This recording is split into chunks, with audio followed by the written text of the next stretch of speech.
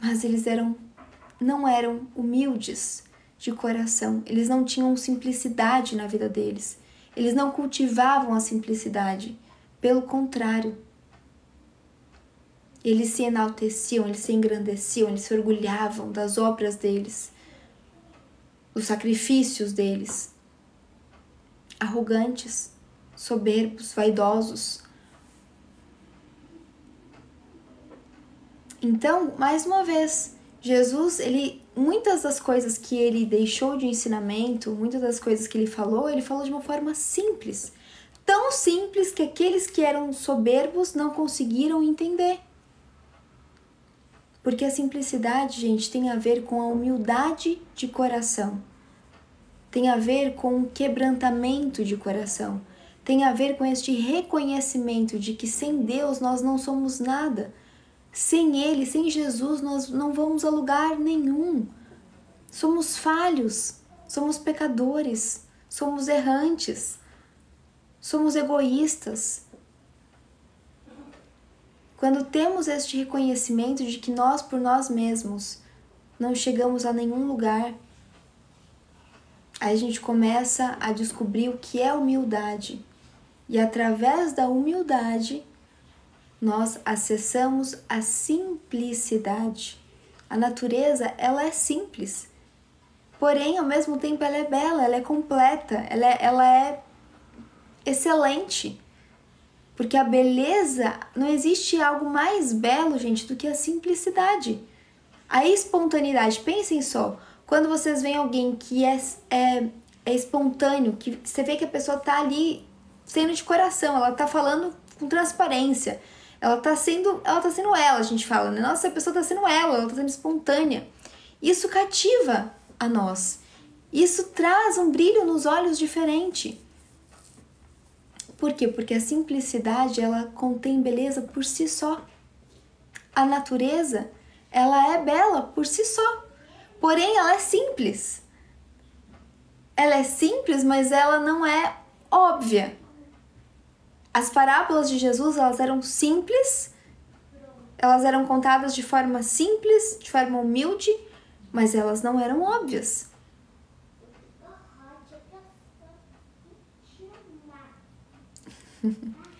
Faz sentido isso para vocês? Está fazendo sentido para vocês? Me contem aqui. Como que isso tá batendo aí no coração de vocês? Faz total sentido. Boa noite, Jonathan. Boa noite, querido. Tudo certinho? Tá chegando agora na live? Márcia Rio disse total. Então Deus, Jesus, ele busca verdadeiros adoradores. Ele, o que, que isso significa? Ele busca aqueles que são simples de coração. E mais uma vez, não podemos confundir a simplicidade, a humildade com as nossas vestes.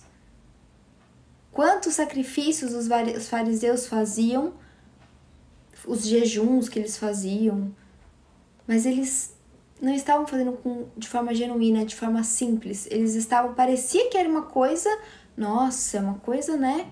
Caramba! Uma coisa assim de. Eles estão servindo, né? Eles estão servindo ao Senhor fazendo esse sacrifício. E na verdade não tinha nada a ver. Mentira! Estavam sendo hipócritas, estavam fazendo isso só para se enaltecer. Então a simplicidade não necessariamente tem a ver com as formas, com os formatos não tem a ver com aquilo que os nossos olhos enxergam, mas tem a ver com aquilo que nosso coração sente. Tem a ver com a pureza do nosso coração, a pureza das nossas ações, a pureza das nossas intenções. Como eu disse, você pode ver um, um, um empresário que mora, que veste as melhores marcas, que mora num palácio, que tem os carros mais, mais incríveis e diferentes, e ele, se você chegar perto, se você conversar com ele, se você realmente tiver o interesse de conhecer o coração dele, talvez você descubra um coração extremamente dócil, um coração manso, um coração humilde, um coração genuíno, um coração temente ao Senhor. Porque aquilo que ele tem, talvez seja a forma dele, inclusive, evangelizar. Talvez aquele, aquele formato, daquele, aquele, aquele, aquela vestimenta, aquele estilo seja o mais didático para ele alcançar outros corações e levar esses corações a Jesus.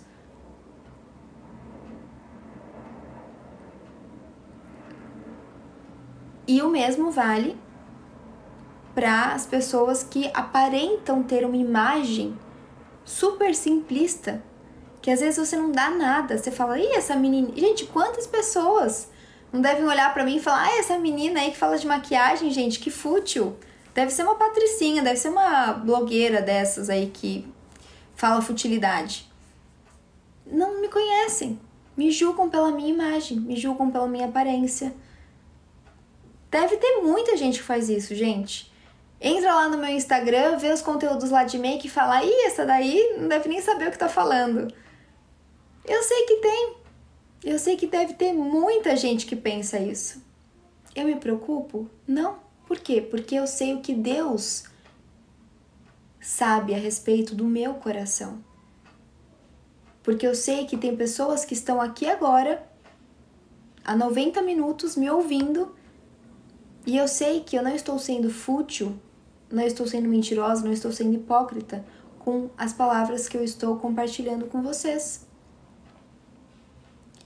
Então a gente não, não deve julgar os livros pela capa. Tem pessoas que têm uma imagem que você pode não dar nada para ela, mas se você se abrir para observá-la, se você tiver o interesse de conhecer o coração dela, você vai se surpreender com a humildade, com a sabedoria, com a simplicidade, com a leveza, com a pureza da alma daquele ser. Vai ser extremamente edificante você estar na presença daquela pessoa que talvez você não dava nada para a imagem dela. Luiz Studart. Ai, obrigada pelos presentes! Hum.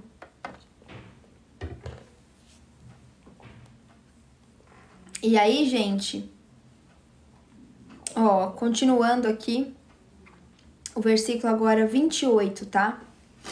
Ai, obrigada, Luiz. Obrigada pelo carinho, pelo café, pela rosa. Ai, que fofo. Gente, é sempre tão importante quando vocês dão os presentes, vocês não têm noção. Isso para mim é, faz muita diferença, realmente é um apoio de verdade, assim, sabe? Isso faz também com que o TikTok apoie ainda mais essas lives. Então, eu sempre falo, qualquer presentinho que seja uma rosa, um buquê, um, um, coração, qualquer coisa faz muita diferença, viu, pro criador de conteúdo do lado de cá. E se você puder, pelo menos dar dois toquezinhos na tela e curtindo enquanto eu vou falando, e isso também contribui muito para a live. Ai, gente, olha que fofo esse coração! que lindeza! Hum.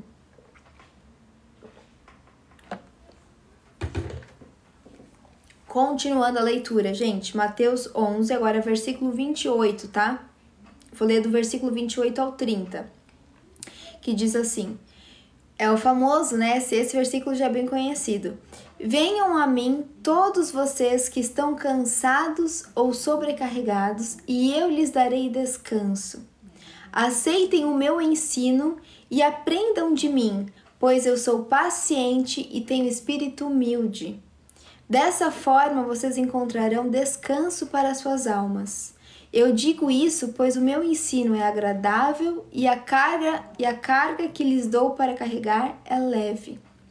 Aí na versão NVI, que eu acho que é a mais conhecida, diz assim: Venham a mim todos os que estão cansados e sobrecarregados, e eu darei descanso a vocês. Tomem sobre vocês o meu jugo e aprendam de mim, pois sou manso e humilde de coração, e vocês encontrarão descanso para suas almas, pois o meu jugo é suave e o meu fardo é leve. Olha só, palavras de simplicidade, mas de uma profundidade sem tamanho. É ou não é? E, gente, quando nós estamos, quando a gente admite, né, porque ele diz: Venham a mim todos os que estão cansados e sobrecarregados. Vocês entendem que para gente a gente reconhecer que estamos cansados e sobrecarregados, a gente precisa ter humildade de coração. Porque se você estiver numa arrogância, se você estiver numa autossuficiência, você não vai conseguir, você não vai querer admitir que você está cansada e sobrecarregada. Você vai falar, não, claro que não. Você, você tá sentindo que você tá exausta, você tá cansada, mas você fala, eu dou conta. Eu dou conta, eu vou dar conta, eu sei que eu, eu vou até o final, enquanto eu não cair no chão, eu não vou parar. Isso é arrogância? Soberba? É, é querer ser independente de Deus, é não, é não aceitar a nossa dependência do Pai. Nós precisamos de uma postura de humildade, inclusive para reconhecer que estamos cansados e sobrecarregados. E dessa forma, Jesus consegue entrar no nosso coração.